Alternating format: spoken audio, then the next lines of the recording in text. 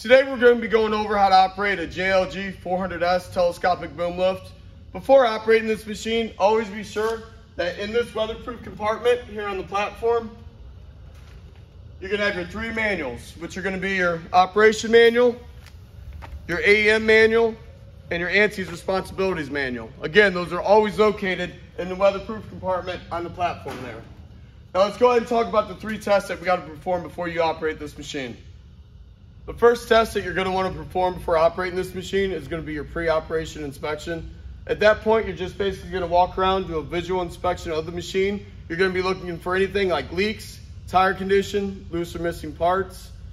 In that operator's manual has a long list of things to look for if you're unsure. Second thing you're going to do is going to do a function test. At that point, you're going to do a function test from the ground controls and your platform controls. You're gonna make sure all functions test out correctly and all the safety devices are working. Again, operator's manual in the platform has a long list of that for you. Last thing we're gonna do is a workplace inspection. Basically, you're searching for any hazards in your workplace by any means. Again, operator's manual has every bit of it in there if you're unsure what to look for. Let's go ahead and go to the ground controls. Now that we're down here at the ground controls, to operate any of your functions from down below here, it's going to be your e-stop out, key switch all the way to the right. That's going to allow you to power up your ground controls here. But for the purpose of this video, I'm to go ahead and turn the key switch to the neutral position and the e-stop in. Now to start this machine from down below, it's going to be this toggle switch here up. That's going to go ahead and start the machine for you.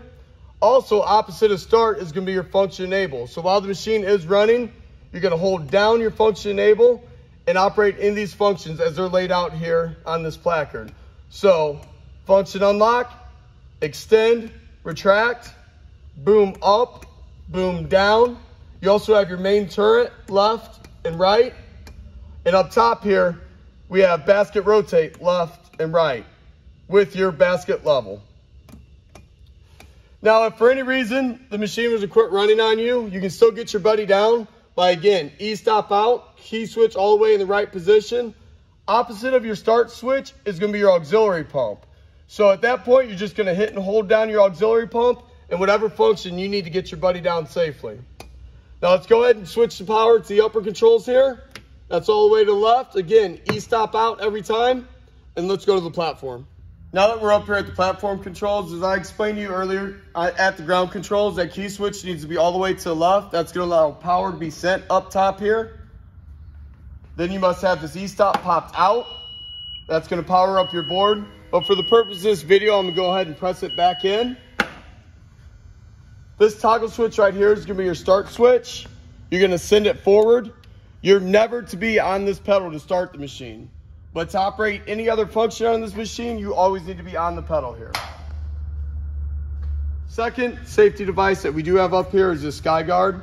That is while you're traveling, if you were to bump it, it's just gonna cut off your travel instantly. So if your piece of equipment is equipped with the SkyGuard, go ahead and test that out, make sure that's working correctly also. As I showed from down below, you, you do have auxiliary pump up top here also, so you can get yourself down. By doing that would be, again, E-stop out, foot on the pedal. For the auxiliary pump, you're gonna have your foot on the pedal. So it's always pedal, pump, and then whatever function you need to get yourself down safely. So it'll allow you to do everything besides travel, besides drive. So you can swing the boom out of the way to come down into a safe spot every time. Now let's go ahead and start with these toggle switches all the way to the left here. These are going to be for your travel. So it's going to be three speed, high, mid, and low.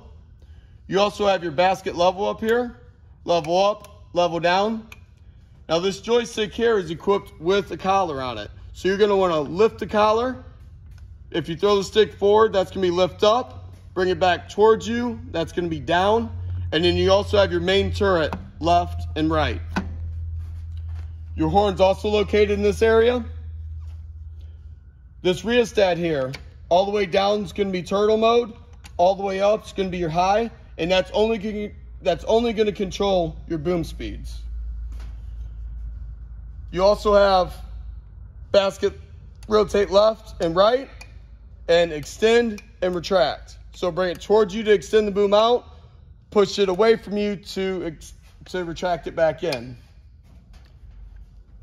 Over here on this joystick, you're also gonna have a collar. It's gonna be your drive stick. So lift the collar on the joystick. This is gonna be your forward and reverse, and you're always gonna steer off the top rocker.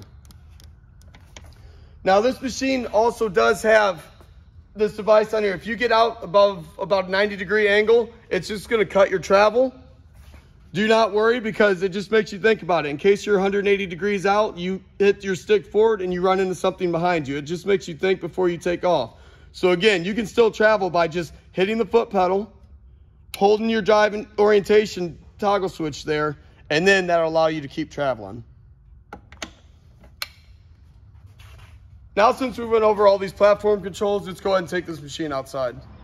Now that we're out here and ready to operate this machine, always make sure you have your full body harness on and that you only tie off to the factory anchor points on this machine. You're gonna have one on the right and left on this JLG 400S.